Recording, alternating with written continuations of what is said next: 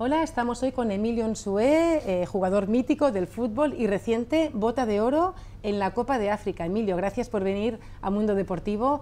¿Cómo has vivido esta Copa África? Bueno, lo primero, gracias a vosotros, muy agradecido por la invitación. Y nada, la verdad que la he vivido como un niño joven, un niño muy, pequeño, no, no, esperaba lo bien que nos ha ido, tanto a mí personalmente como a mi país.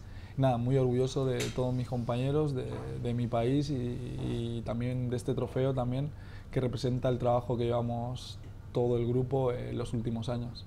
De hecho, Guinea Ecuatorial ha sido una de las sensaciones de este torneo. ¿Cuál es la clave de esta selección? Bueno, siempre lo digo, nuestra clave es que no tenemos ninguna superestrella. Nosotros, nuestra clave es que tenemos un grupo muy fuerte, muy unido. Yo creo que son de los mejores grupos que yo he estado en mi carrera futbolística y eso hace que podamos pues, dar eh, los frutos que estamos dando a nuestro país y creo que es la clave de, que, estamos haciendo bien, bien las cosas. De hecho, tú, bueno, bota de oro, cinco goles en tres partidos, pero hemos visto nombres propios en la Copa de África, Salah, Mané, eh, Osimen. ¿Ha habido muchísimo nivel en este torneo? Sí, la verdad que han habido estrellas mundiales. Eh, como te digo, nosotros no tenemos ninguna superestrella, así que es cierto que, bueno, gracias a Dios, gracias a mi compañero, he podido lograr un, premio en representación de todo el país, muy importante para el país, que eso me enorgullece muchísimo. Y por otro lado, como comenté, también decir que bueno, fallé el penalti y pude poner a mi país eh, en otra ronda, pero bueno, así es el fútbol, siempre hay que quedarse con lo positivo, aprender de los errores y muy feliz por todo lo vivido y, y por haber conseguido este premio que para mí representa eh, el grupo y a Guinea Ecuatorial ha sido allí casi histórico, se ha vivido una, como una fiesta mayor, ha habido un, boom con, con, vosotros. ¿Cómo habéis vivido este recibimiento de la gente? ¿Qué significa todo esto? Para nosotros significa muchísimo, para nosotros es lo más, ¿no? que tu país eh, pues, te dé crédito, ¿no? te dé este apoyo y, también al final eh, quien ha ganado la Copa de África es Costa de Marfil, eh, que le ganamos 4-0, entonces la gente lo valora. Yo creo que el fútbol en Guinea Ecuatorial, en este caso nuestro grupo, hace que todo el país se una, es, una emoción inexplicable y nosotros estamos muy agradecidos y, a la vez muy felices de, ver esta alegría que tiene el pueblo hacia nosotros y, e intentar seguir dándoselo y este es nuestro reto. Emilio, se da el caso de que tú debutaste con la selección española, incluso llegaste a jugar los Juegos Olímpicos de Londres y luego pasaste a la selección de Guinea Ecuatorial. ¿Cómo fue este cambio? Bueno, yo he jugado desde sub-14 todas las categorías eh, con la selección española hasta sub-21. Y bueno, eh, por parte de padre guineano, desde pequeño siempre te va hablando ¿no? de tus raíces, tienes que conocer tus raíces, algún día tendrás que ir a jugar con la selección de Guinea Ecuatorial. Y sí que es verdad que cuando gané el Campeonato de Europa Sub-21, eh, por parte de Guinea, vinieron a, proponerme el, cuando yo estaba jugando en Primera División en Mallorca, a ir a jugar con, la, con Guinea Ecuatorial. Y la verdad que no me lo pensé, no me lo pensé porque soy una persona que creo que hay que saber de dónde vienes, tus raíces, parte de tu familia que no conocía, parte de tu país y la verdad que muy agradecido y, ahora hoy en día que han pasado tantos años, la verdad me siento muy contento de haber tomado esa decisión porque son de las mejores decisiones que he tomado en mi vida. Bueno, y ahora un héroe nacional, ¿no? Aparte, en SUE eres un trotamundos del fútbol eh, mundial, eh, Mallorca, Real Sociedad, Birmingham, Middleton, ahora en el, Intercity. Eh, ¿Con qué vivencias te quedas de todo esta trotamundos que has tenido en el fútbol?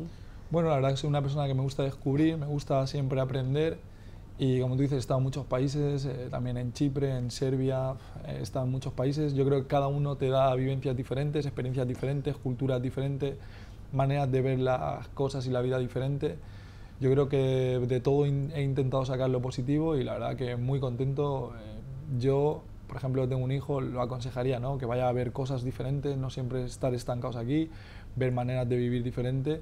Y la verdad que siempre se dice, ¿no? Que se puede hacer mejor, pero la verdad que estoy muy contento por mi trayectoria, lo he hecho lo mejor posible, es hasta lo que me ha dado y muy feliz por todo lo vivido. Además aquí te recordamos porque tuviste un primer gol en tu carrera un poco especial. ¿Cómo fue ese primer gol? Bueno, mi sueño, tenía dos sueños, llegar a la primera división y meter gol y bueno, afortunadamente mi primer gol en primera división fue al Fútbol Club Barcelona, eh, a mi ex compañero Víctor Valdés, que jugó conmigo en el Middlesbrough en Inglaterra y la verdad que es un, un, recuerdo inolvidable, ¿no? Tu primer gol en el Camp Nou, no mucha gente puede, puede contarlo. En el fútbol español también estamos viviendo capítulos preocupantes de racismo, con Vinicius un poco en la punta de lanza. Eh, ¿Crees que no hay suficiente mano dura en contra del racismo? ¿Qué, se debería hacer para evitar estos casos?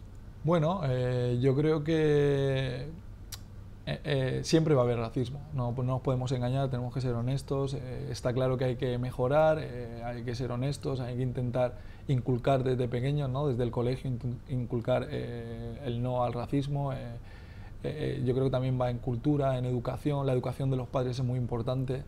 en este caso, gracias a Dios, mi madre me ha dado una educación. creo que nadie elige el color al que se viene al mundo a vivir. Eso es lo que primero la gente tiene que entender. Y segundo, que un color no decide nada. Entonces yo creo que más cultura, educación, sobre todo la educación de los padres, sería yo eh, los colegios, los institutos, eh, por el camino que yo iría.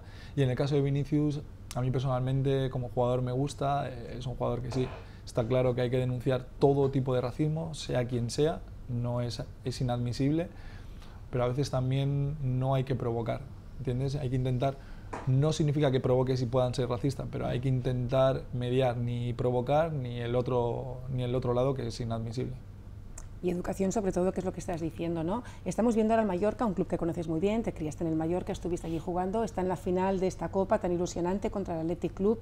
¿Cómo ves al equipo? ¿Crees que hay opciones de poder ganar este título? Sí, por supuesto. En una final da igual, es todo 50%. El Mallorca...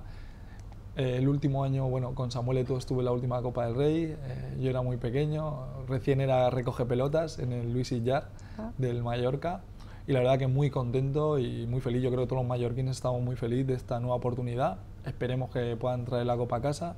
Si no, pues igualmente han hecho un trabajo increíble y por otro lado también un poquito triste porque eh, la final eh, la ha llegado a través de la Real Sociedad, que también es parte de, mi familia, es un club que quiero mucho, pero como mallorquín muy contento de que haya llegado a la final y ojalá pueda llevarse eh, la copa a Mallorca.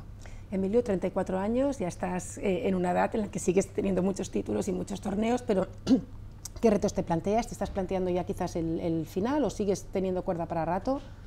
Bueno, eh, la verdad que soy una persona que me dejo llevar por mi cuerpo, eh, intento cuidarme mucho y yo voy a seguir lo que me diga mi cuerpo. La verdad que me siento ahora muy bien, creo que me queda cuerda para rato, al menos dos, tres años.